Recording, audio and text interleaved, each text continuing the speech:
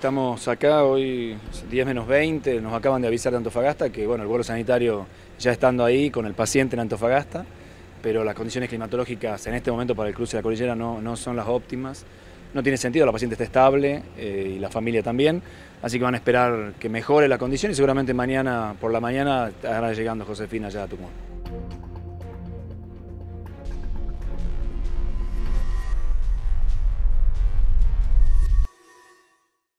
Bueno, el tema meteorológico nos escapa totalmente. Lo que hicimos fue asegurarle la posibilidad a la paciente de que llegue a la provincia a través de un vuelo que pagó la provincia. Pero básicamente en los traslados siempre se intenta de que el paciente no entre en mayor riesgo durante el traslado que en donde está.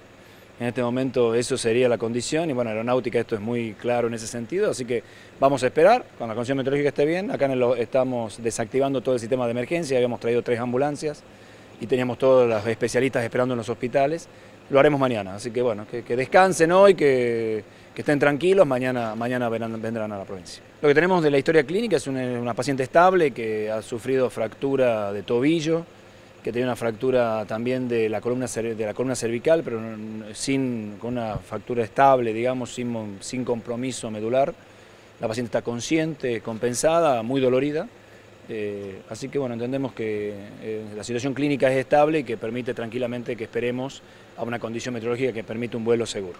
Nosotros tenemos contacto primero con la empresa médica que está trayendo al paciente, estos son los datos que tenemos, son de ellos, y hemos tenido contacto a través de la hermana que vive en Santa Fe, eh, y con la madre algún contacto, pero muy poco porque con malas señales de roaming en la, en la zona donde estaba.